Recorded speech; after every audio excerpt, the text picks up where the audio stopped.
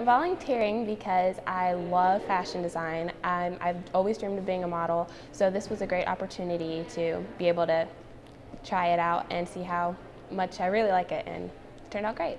I'm volunteering because one of the art teachers at my uh, high school um, told us about a chance to um, rework um, clothing found at thrift shops, and I thought that sounded like a really cool idea. And then I learned a little bit more that it was going toward um, um, benefiting Laura, and it just sounded like a great experience.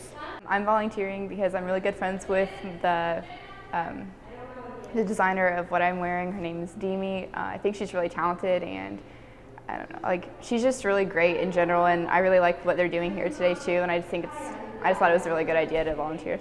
I volunteered because I'm really into fashion design and I thought this would be a good opportunity to be creative and get some of my pieces out.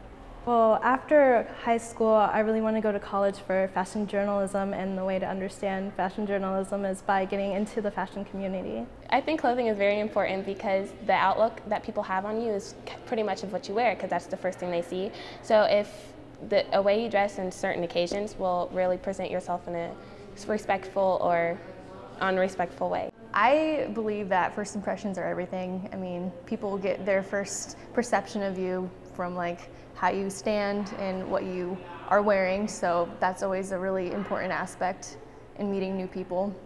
I think that um, what you wear definitely says a lot about what you're going to do and um, uh, how interested you are in doing whatever it is. And if you were to go to an interview wearing your pajamas, you'd look out of place. So it, it conveys a lot about what you're going to do. Clothing for certain occasions is important because if you're going out somewhere nice, you don't want to wear jeans and a regular t-shirt because that would that wouldn't be a very good impression towards other people who are dressed up.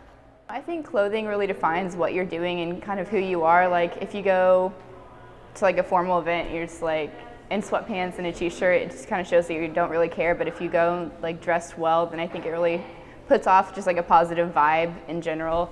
And I just think it's a good idea to like always try to look your best. Clothing for certain occasions is very important. Just to be dressed for the right occasion is immensely important. Well, what you wear pretty much forms the way you look. And as girls, mostly, we have a really big deal on how we look. And I think body forming clothes will really bring out your personality as well. Being on a budget is important because you don't have to spend a lot of money on clothing when you can go to the Salvation Army or Goodwill. Um, being on a budget is very important. Managing your money, I think that's really important, especially now in our economy. I think that's a big deal. You don't want to spend on your all your money on, let's say, clothes. So you want to be able to do other things with what you earn and what you work for. So being on a budget would be like, I don't know, it keeps you organized being on a budget is important because there are some things that you just like for example you have to like save up for something and you have to like budget your money to be able to afford whatever you're trying to save up for. Um, well, why pay $300 for a jacket where you can get it at like Goodwill for like 10? Confidence and clothing, they correlate with each other by showing that you take care of yourself and um, you like the way you look by dressing yourself well.